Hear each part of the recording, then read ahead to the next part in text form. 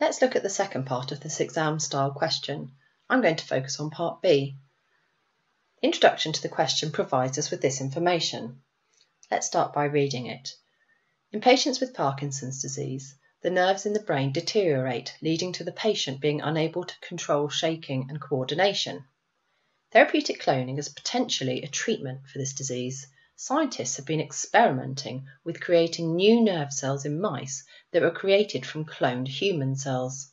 And part B says, suggest why this method of therapeutic cloning could cure Parkinson's. And we have two marks for that question. Let's start by looking at the command word in the question.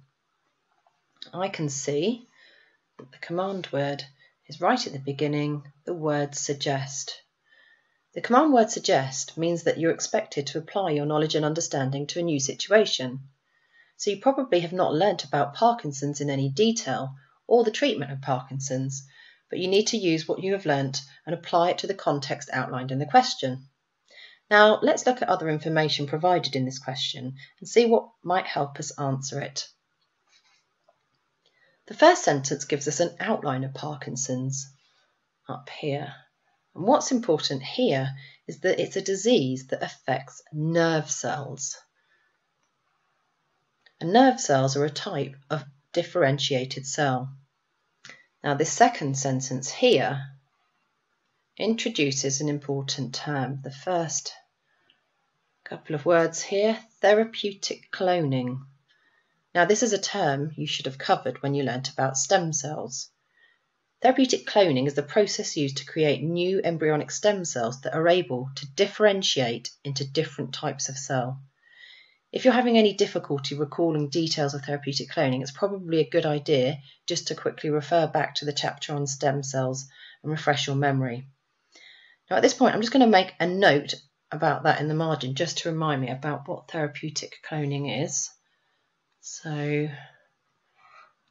just put an arrow and I'm just going to write produces embryonic stem cells. And the key thing here is that they are undifferentiated cells. Oops, I'm just going to write that. Undifferentiated.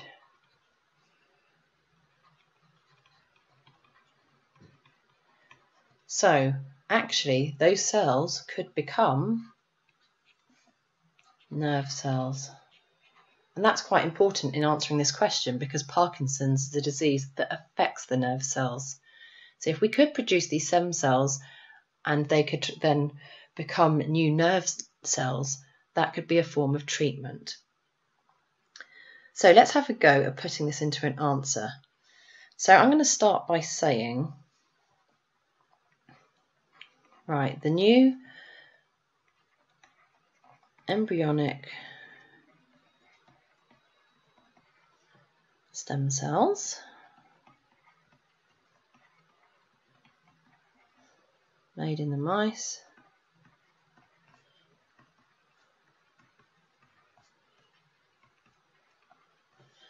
Can differentiate. It's important to use scientific terminology here. Differentiate into any type of cell.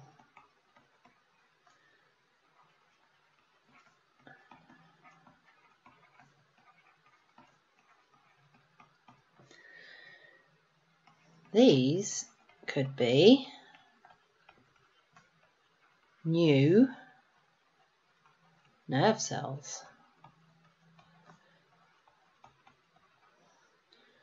So they could help treat Parkinson's.